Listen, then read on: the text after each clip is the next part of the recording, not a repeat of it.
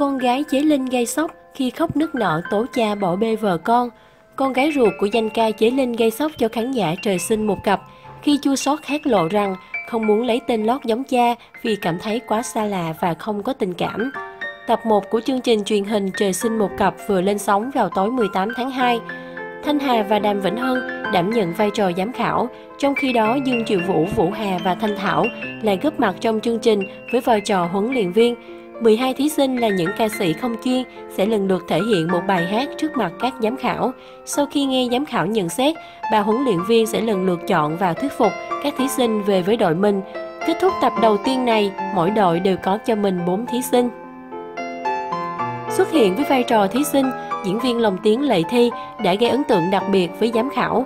Ngoài việc thể hiện ca khúc biển cạn đầy cảm xúc, Lệ Thi còn làm Thanh Hà ngỡ ngàng khi tiết lộ chị chính là con gái ruột của danh ca Chế Linh. Ngay lập tức, Thanh Hà bày tỏ sự hoang mang vì chị từng có thời gian làm việc ở hải ngoại với Chế Linh, nhưng ít khi nghe nhắc đến thông tin về cô con gái này. Để trả lời Thanh Hà, Đàm Vĩnh Hân đáp lại, rất ngạc nhiên, sân chơi ngày hôm nay có quá nhiều người quen.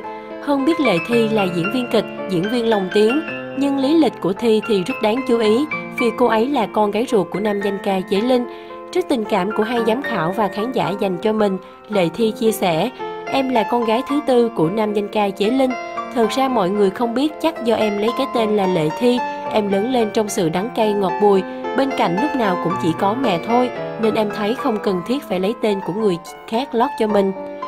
Trên sóng truyền hình, Lệ Thi một lần nữa làm khán giả choáng váng khi tiết lộ chuyện Chế Linh bỏ rơi mẹ con cô từ nhiều năm trước.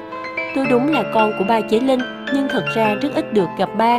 Từ nhỏ đến lớn tôi sống với mẹ, tên lót chữ Lệ nghe buồn, nhưng cũng vì lúc mang thai mẹ tôi khóc nhiều hơn là vui. Quãng đường mẹ nuôi dưỡng chăm sóc gồng gánh vất vả bốn chị em, mình không lời nào tả xiết, nên hà cớ gì tôi phải lấy tên lót là Chế Thi, nghe xa lạ. Trình mở màn bằng liên khúc, bài không tên số 8 và khi người yêu tôi khóc do Đàm Vĩnh Hân và Thanh Hà thể hiện, giọng ca nồng nàn dai diết cùng cách trình diễn tình tứ của hai vị giám khảo làm sân khấu trời sinh một cặp chìm trong tiếng vỗ tay không ngớt. Anh chàng Lê Thị Na của Big Chick in Town, Lê Minh Ngọc gây bất ngờ cho khán giả khi tham gia chương trình này. Lê Minh Ngọc thể hiện ca khúc Lặng thầm một tình yêu của Thanh Bùi. Trước nhận xét của Thanh Hà rằng Lê Minh Ngọc vẫn chưa có đủ phong thái để đấu lại 11 thí sinh khác, dù có giọng hát hay. Đàm Vĩnh Hưng đáp lại, có lẽ vòng đầu tiên nên Ngọc chưa trổ hết tài ra, Ngọc đang giấu nghề thôi. Diệu Nhi là cái tên liên tiếp làm khán giả hoang mang từ lúc chương trình còn chưa phát sóng. Nhiều người hoài nghi khi trước đó cô nổi tiếng với những bài hát lạc tông kinh khủng, thậm chí còn được mệnh danh là chuyên gia phá hit của những ca sĩ khác.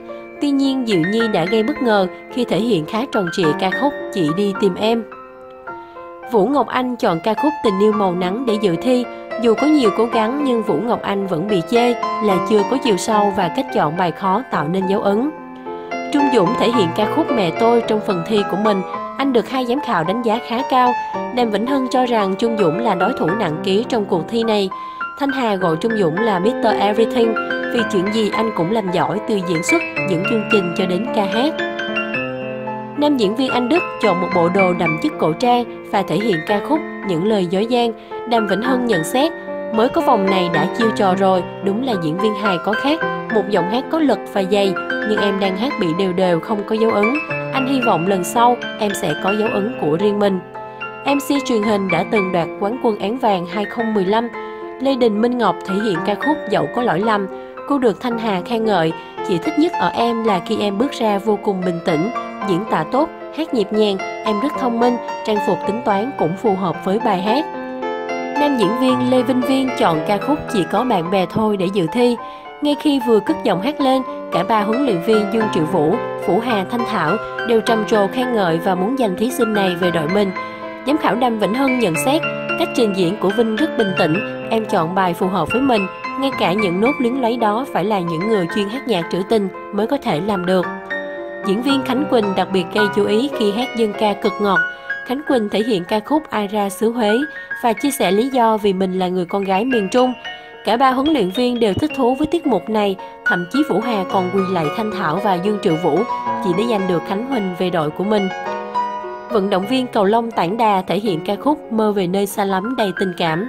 Phóng viên Hùng Tiến mang đến ca khúc Và tôi cũng yêu em. Nam thí sinh bị nhận xét khá lúng túng và run khi hát trên truyền hình. Kết thúc tầm 1, Thanh Thảo mang về cho đội mình các thí sinh Trung Dũng, Anh Đức, Long Đẹp Trai và Hùng Tiến. Huấn luyện viên Vũ Hà mang về cho mình 4 chiến binh. Lệ thi, Minh Ngọc, Lê Vĩnh, Khánh Quỳnh, huấn luyện viên Dương Triệu Vũ sở hữu các thí sinh Vũ Ngọc Ánh, Lê Minh Ngọc, Diệu Nhi và Tản Đà.